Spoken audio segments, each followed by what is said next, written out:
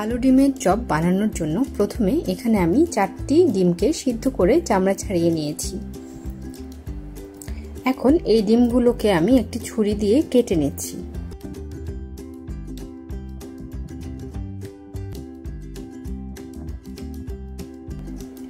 এখানে আরও নিয়েছি চারটি মিডিয়াম সাইজের আলুকে সিদ্ধ করে। আলুগুলোকে চামড়া ছাড়িয়ে খুব ভালো করে হাত দিয়ে ম্যাশ করে নিচ্ছি। আলুগুলো ম্যাশ করা হয়ে গেলে এটার সাথে আমি দিয়ে দিচ্ছি তিনটি শুকনো মরিচ ভেঙে। মরিচটাকে আমি আগে একটু হালকা তেলে ভেজে নিয়েছি। আপনারা এখানে আপনাদের স্বাদ অনুযায়ী মরিচ কমিয়ে বা বাড়িয়ে দিতে পারেন। এখানে আরও দিচ্ছি এক কাপের মতো ছোট ছোট কিউব করে কাটা পেঁয়াজ। দিয়ে দিচ্ছি এক টেবিল চামচ ধনিয়া পাতা।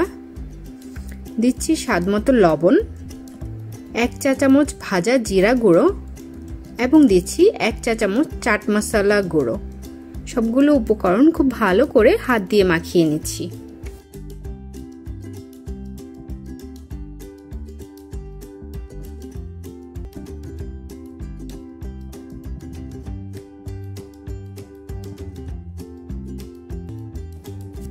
মাখানো হয়ে গেলে আমি এখান থেকে পরিমাণ মতো পটেটো মিক্সচার নিয়ে হাত দিয়ে বলের মতো বানিয়ে নিলাম। এখন এটাকে একটু চ্যাপটা করে তার ভিতরে এক স্লাইস ডিম দিয়ে চারপাশ থেকে আলুটাকে এনে ডিমটাকে আলু দিয়ে ঢেকে আমি ডিমের চপ বানিয়ে নিলাম।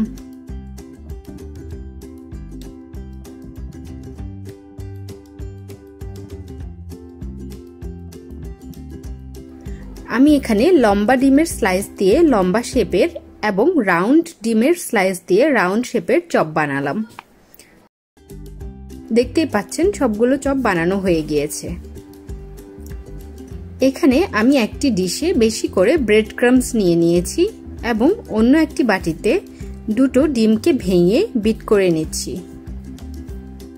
এখন বানানো এগ চপগুলোকে আমি প্রথমে ডিমের মধ্যে ভালো করে চুবিয়ে পরে ব্রেড ক্রামসে গড়িয়ে নিচ্ছি। এই চপগুলো কিন্তু একবার বানিয়ে নিলে প্রায় এক মাস পর্যন্ত ফ্রিজে সংরক্ষণ করে রাখতে পারেন পরবর্তীতে খাওয়ার জন্য। এ কাজের জন্য চপগুলোকে এভাবে এয়ারটাইট বক্সে সুন্দরভাবে সাজিয়ে বক্সের ঢাকনা লাগিয়ে ফ্রিজে রেখে দিতে পারেন। অথবা সাথে সাথে যদি খেতে চান, তাহলে সাথে সাথে ফ্রাই করে খেতে পারেন। ফ্রাই করার জন্য এখানে আমি ফ্রাইং প্যানে বেশি করে তেল গরম করে নিয়েছি। তেলটা গরম হয়ে গেলে আমি তেলের মধ্যে চপগুলোকে দিয়ে দিচ্ছি এবং মিডিয়াম হিটে ডুবো তেলে গোল্ডেন ব্রাউন করে চপগুলো ভেজে নিচ্ছি।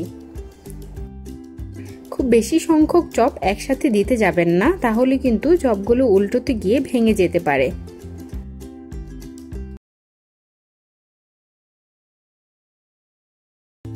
ভাজা হয়ে গেলে আমি এগুলোকে তেল থেকে উঠিয়ে গরম গরম টমেটো সসের সাথে পরিবেশন করছি।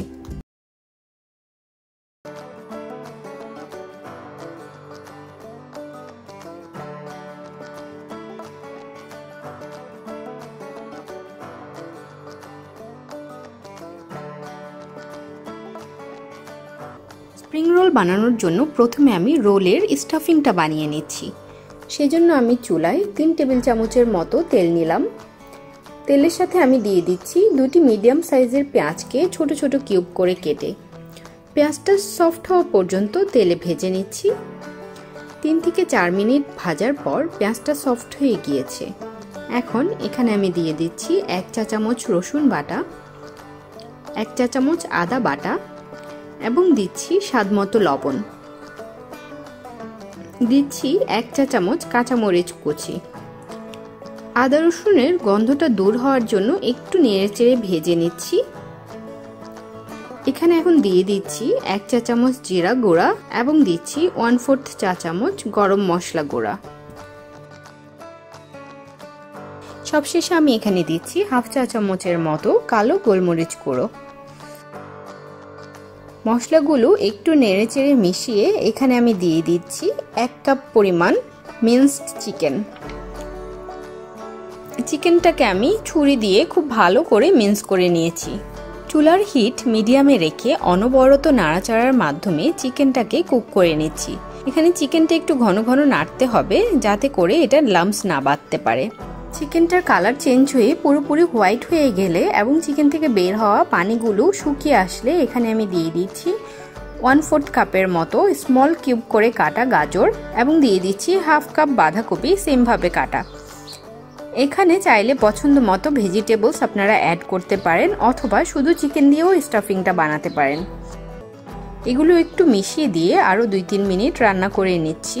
সবশেষে উপরে এক চা চামচ ধনিয়া পাতা কুচি দিয়ে একটু মিশিয়ে দিলাম।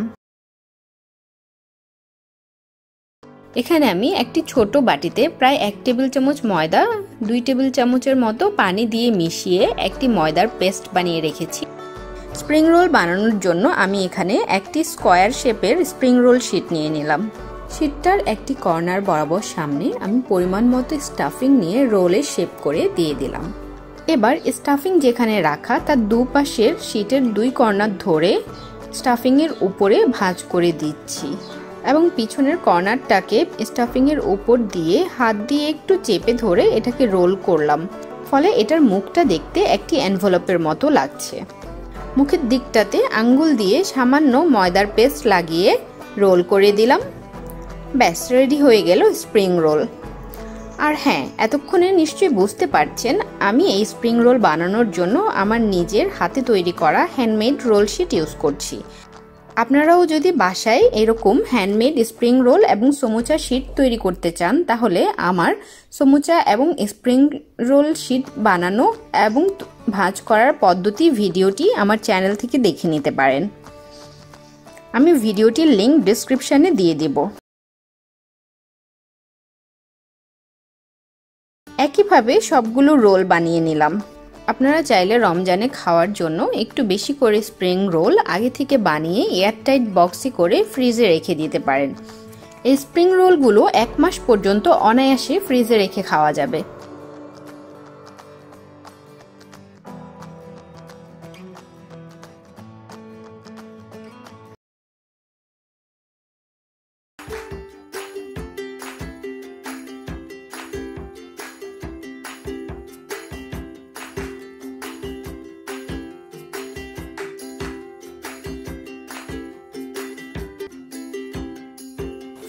বানানোর জন্য আমি এখানে চার পিস রুই মাছ নিয়েছি। তবে আপনারা চাইলে রুই মাছের পরিবর্তে এখানে কাতল বা এ ধরনের অন্য যে কোনো মাছ ব্যবহার করে এই কাবাবটা বানাতে পারেন। মাছের পিসগুলোকে আমি একটি পাতিলে নিয়ে নিয়েছি এবং এর সাথে দিয়ে দিচ্ছি দেড় কাপ পানি। এখানে আমি আরও দিয়ে দিচ্ছি হাফ চা চামচ রসুন বাটা, হাফ চা চামচ আদা বাটা, হাফ চা চামচ গুঁড়ো মরিচ এবং এক চা চামচ লবণ। এবং দুইটি তেজপাতা মাঝখান থেকে ছিঁড়ে। এবার চুলাটা জ্বালিয়ে এই ফিশগুলোকে ঢাকনা দিয়ে আমি মিডিয়াম হিটে সিদ্ধ করে নিচ্ছি পানি শুকিয়ে যাওয়া পর্যন্ত। পানিটা আধা শুকিয়ে আসলে আমি ফিশগুলোকে উল্টে দিচ্ছি এবং ঢাকনা দিয়ে অপেক্ষা করছি পানিটা পুরোপুরি শুকিয়ে যাওয়ার জন্য। ফিশটা সিদ্ধ হয়ে গিয়েছে এবং ফিশের পানিটা শুকিয়ে গিয়েছে। এখন আমি চুলাটা বন্ধ করে নিচ্ছি। মাছের পিসগুলোকে ঠান্ডা করে আমি মাছের কাটা এবং চামড়াটা সরিয়ে নিয়েছি। এখানে আমি মাঝারি সাইজের একটি আলু সিদ্ধ করে নিয়েছি। আলুটাকে আমি হাত দিয়ে খুব ভালো করে চটকে নিচ্ছি।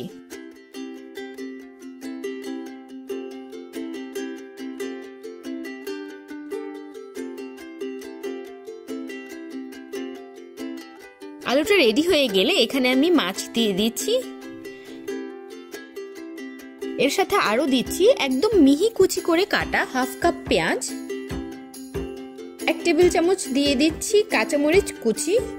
দুই টেবিল চামচের মতো দিচ্ছি ধনিয়া পাতা কুচি। দিয়ে দিচ্ছি এক চা চামচ কাবাব মশলা।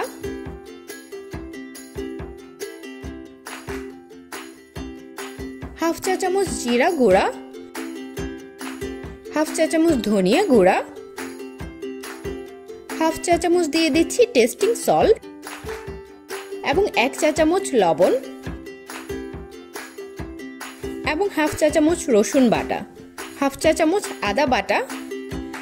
এবার সবগুলো উপকরণকে আমি খুব ভালো করে হাত দিয়ে মাখিয়ে মিশিয়ে নিচ্ছি।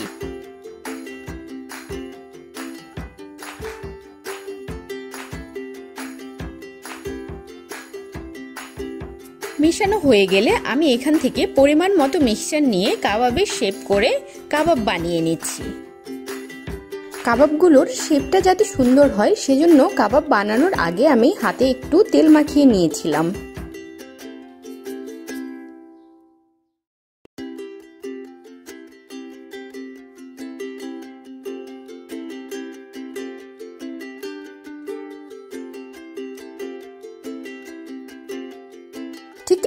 একইভাবে আমি সবগুলো কাবাব বানিয়ে নিয়েছি। আমার এখানে দশটা কাবাব হয়েছে। আমার কাবাবগুলো প্রায় রেডি হয়ে গিয়েছে। এখন লাস্ট স্টেপটা করার আগে আমি এই কাবাবগুলোকে ফ্রিজে আধা ঘণ্টা রেখে ঠান্ডা করে নিচ্ছি। কাবাবগুলো ঠান্ডা হয়ে গিয়েছে। এখানে আমি বাটিতে একটি ডিম ভেঙে নিয়েছি এবং ডিমটাকে খুব ভালো করে কাটা চামচের সাহায্যে বিট করে নিচ্ছি। এবার আগে থেকে বানিয়ে রাখা কাবাবগুলোকে আমি প্রথমে খুব ভালোভাবে ডিমে চুপিয়ে নিচ্ছি এবং পরে ব্রেড ক্রামসে গড়িয়ে নিচ্ছি।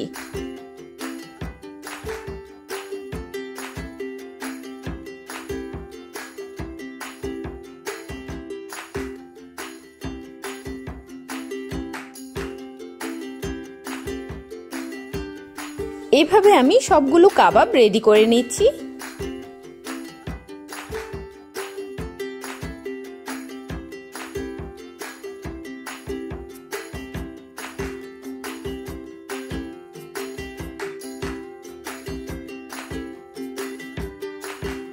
কাবাব বানানো শেষ। এখন এই কাবাবগুলোকে আমি ফ্রিজে এক ঘণ্টা রেখে দিচ্ছি একটু শক্ত হয়ে ওঠার জন্য।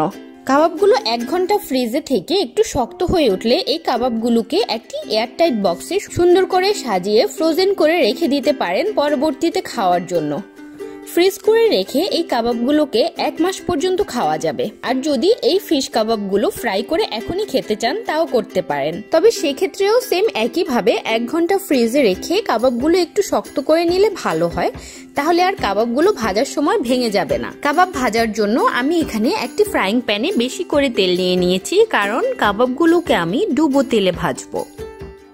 তেলটা গরম হয়ে গেলে আমি একে একে এখানে কাবাবগুলো দিয়ে দিচ্ছি। এবং মিডিয়াম থেকে মিডিয়াম লো হিটে এই কাবাবগুলোকে আমি গোল্ডেন ব্রাউন করে ভেজে নিচ্ছি। ফ্রাই হয়ে গেলে আমি কাবাবগুলো তুলে নিচ্ছি। আসসালামু আলাইকুম viewers, welcome to food report আজকে আমি আপনাদেরকে সবচেয়ে সহজভাবে এবং অনেক কম উপকরণ ইউজ করে বাসায় কীভাবে চিকেন স্ট্রিপস বানাবেন সেটা দেখাবো। চলুন তাহলে রেসিপিটি দেখে নিই। চিকেন স্ট্রিপস বানানোর জন্য আমি এখানে দুইশো গ্রামের মতো চিকেন ব্রেস্ট নিয়েছি। আমি চিকেনটাকে স্ট্রিপস সাইজ করে কেটে ধুয়ে ভালো করে পানি ঝরিয়ে রেখেছি। এখানে ১৩ পিস চিকেন স্ট্রিপস হয়েছে। এখন আমি এই চিকেনের সাথে দিয়ে দিচ্ছি পরিমাণ মতো লবণ, এক টেবিল চামচ সয়া সস, এক টেবিল চামচ রেড চিলি সস। এটা না থাকলে এর পরিবর্তে হাফ চা চামচ লাল গুঁড়ো মরিচ দিতে পারেন। আমি আরও দিচ্ছি হাফ টি স্পুন আদা বাটা, হাফ টি স্পুন রসুন বাটা, এবং এখানে আমি আরও দিচ্ছি এক টেবিল চামচের মতো লেবুর রস। এবং হাফ টি স্পুন দিয়ে দিচ্ছি কালো গোলমরিচ।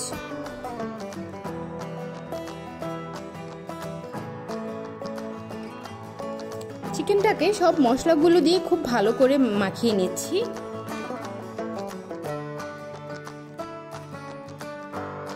এখন এই চিকেনটাকে আমি পনেরো থেকে বিশ মিনিট ঢেকে রেখে দিচ্ছি ম্যারিনেট হওয়ার জন্য।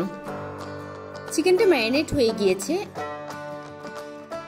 আমি এখানে এক কাপের মতো ময়দা নিয়েছি। এখন এই ম্যারিনেটেড চিকেন স্ট্রিপসগুলোকে আমি ময়দাতে গড়িয়ে নিচ্ছি।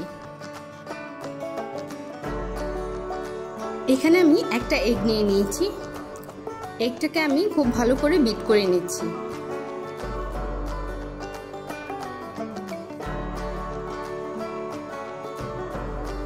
এখন আমি ময়দা দিয়ে গড়িয়ে রাখা চিকেন স্ট্রিপসগুলোকে প্রথমে ডিমে চুবিয়ে নিচ্ছি এবং তারপর ব্রেড ক্রামসের মধ্যে গড়িয়ে নিচ্ছি। এভাবে আমি সবগুলো স্ট্রিপস রেডি করে নিচ্ছি।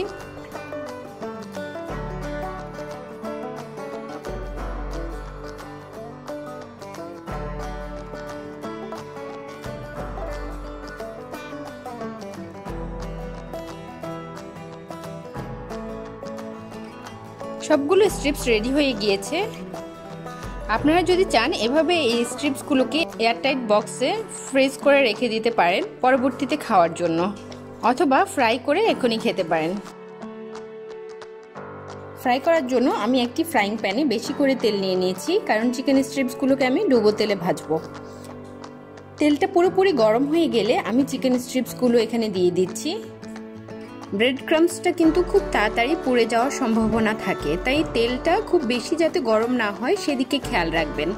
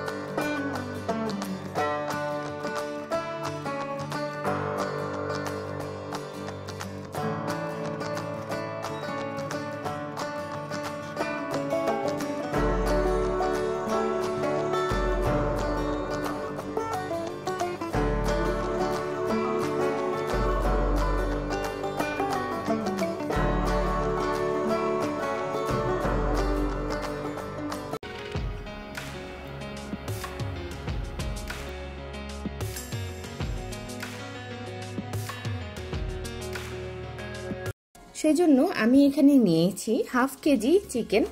চিকেনটাকে আমি হাড় সহ নিয়েছি, তবে কেউ যদি চান হাড় ছাড়া শুধুমাত্র ব্রেস্ট পিসও নিতে পারেন।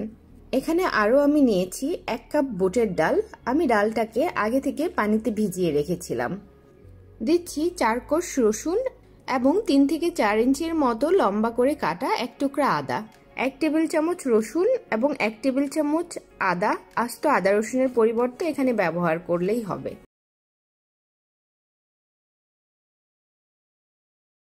দিচ্ছি এক চা চামচ আস্ত জিরা, এক চা চামচ দিচ্ছি আস্ত ধনিয়া।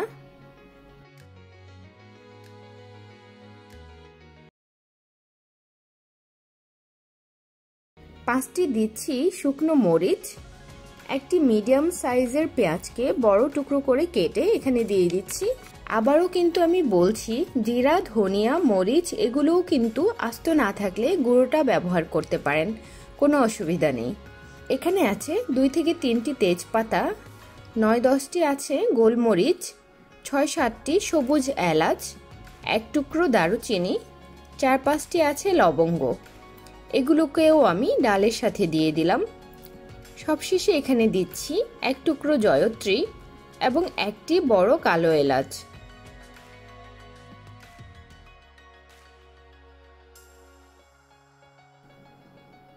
দিয়ে দিচ্ছি হাফ টেবিল চামচ লবণ। এখন এখানে আমি দিয়ে দিচ্ছি পানি। পানিটা এমনভাবে দিতে হবে যাতে করে সবগুলো জিনিস পানিতে ডুবে থাকে, ঠিক সেই বরাবর।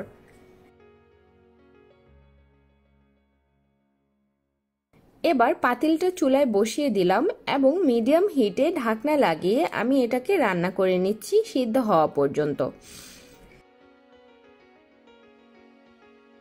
ঢাকনা দিয়ে এভাবে রেখে না দিয়ে মাঝে মাঝে এক দুইবার একটু জিনিসগুলো উপর নিচ করে নেড়ে চেড়ে দিবেন।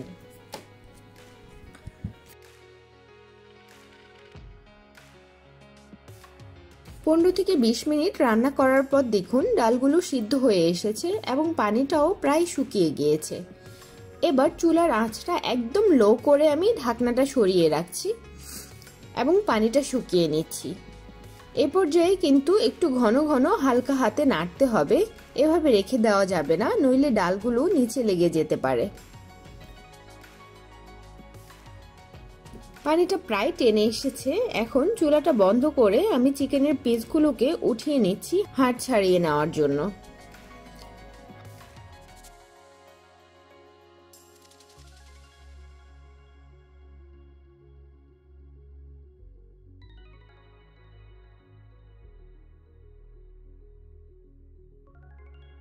হাড় ছাড়িয়ে চিকেনকে আমি আবার ডালের সাথে দিয়ে দিলাম।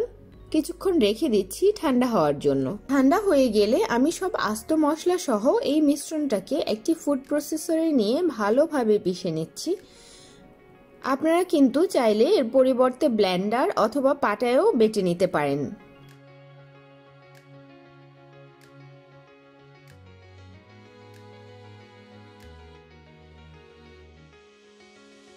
ব্ল্যান্ড করা হয়ে গেলে এখানে আমি দিয়ে দিচ্ছি হাফ কাপের মতো পেঁয়াজ পেরেস্তা। দিচ্ছি হাফ কাপ ধনিয়া পাতা কুচি। এক চা চামচের মতো দিচ্ছি পুদিনা পাতা কুচি। এক চা চামচ দিচ্ছি লেবুর রস। সবশেষে এখানে একটি ডিম ভেঙে দিলাম, যেটা কাবাবের বন্ডিং এজেন্ট হিসেবে কাজ করবে। খুব ভালো করে হাত দিয়ে সবগুলো জিনিস মিশিয়ে দিচ্ছি।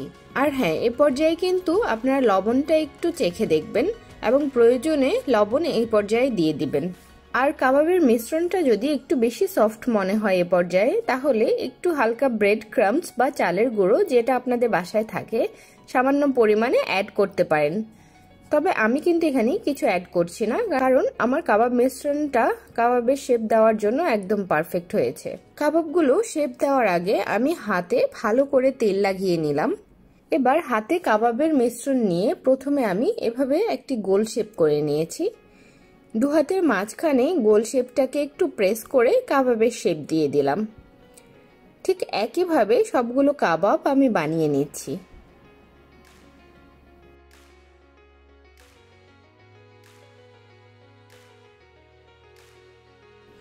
সবগুলো কাবাব বানানো শেষ। কাবাবগুলো কিন্তু এখনই ভাজা যাবে না, এখনই ভাজতে গেলে এগুলো ভেঙে যেতে পারে। তাই আমি কাবাবগুলোকে ফ্রিজে ঢেকে রেখে দিচ্ছি সেট হওয়ার জন্য। আমি খুব ভালো করে বিট করে নিচ্ছি। এবার একটি একটি করে কাবাব আমি ডিমে চুবিয়ে তারপর তেলে দিয়ে দিচ্ছি।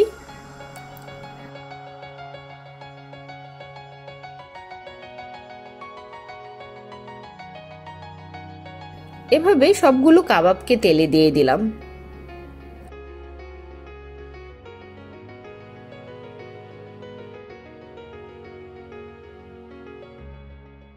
কাবাবটা এক পাশে একটু গোল্ডেন ব্রাউন কালার হয়ে গেলে আমি এগুলোকে উল্টে দিচ্ছি এবং অন্য পাশও একইভাবে ভেজে নিচ্ছি।